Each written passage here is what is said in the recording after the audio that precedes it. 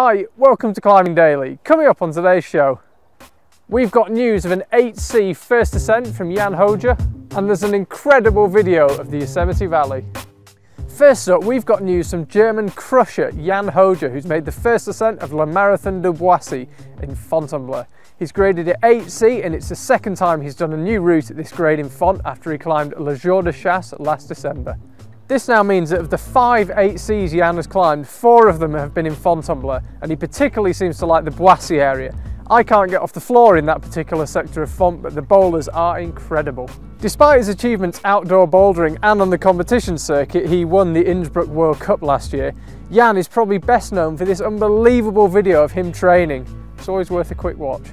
Day, a J, just the keys and a beat, and I promise as I flow, I will never go to sleep. Cause my mind moves to the fine grooves, and I defer the crap from style real soon. Hell's Kitchen, listed, new quality standard. Try to copy this if you understand it.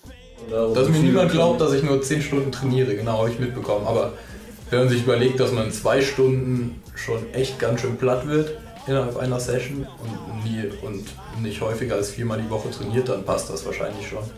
Dann macht man auch zwei Stunden Ausgleichstraining, dehnt ein bisschen oder geht mal laufen und dann komme ich immer noch nicht über 15 Stunden. Also in der direkten Weltcup-Vorbereitung muss ich meistens besonders auf das Ausdauertraining ein bisschen ein Auge werfen, dass ich ab und zu mal 4x4 mache, um die nötige Substanz aufzubauen. Und Weil du dick bist. Weil ich echt dick bin und mich nicht so lange festhalten kann. Ja, ich habe so ein bis zwei Goes am Tag mit so einer Stunde Pause dazwischen. Also dann kann ich mich auch bis zu 15 Züge lang festhalten. Das ist echt ganz gut, wenn es in einer Runde mal läuft, ich ein paar Boulder mache, schöne Morpho-Varianten finde. Dann denke ich, das ist schon ganz cool, so groß und schwer zu sein. Eigentlich nur groß zu sein. Aber vor allem Well, from one amazing video to the next, we've got the latest footage from Project Yosemite.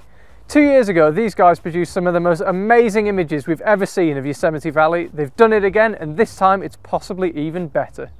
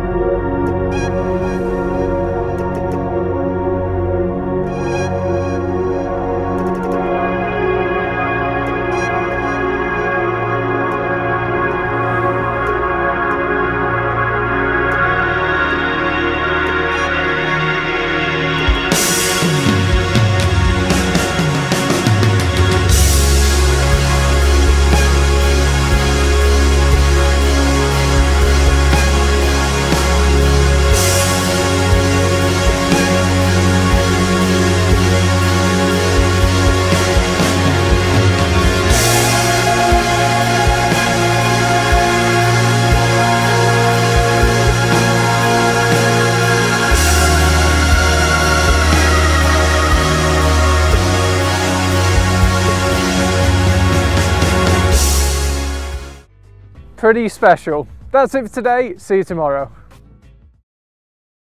Now I'm going to carry on up the next crack, which looks uh, a lot easier. It's a splitter, tight hands crack.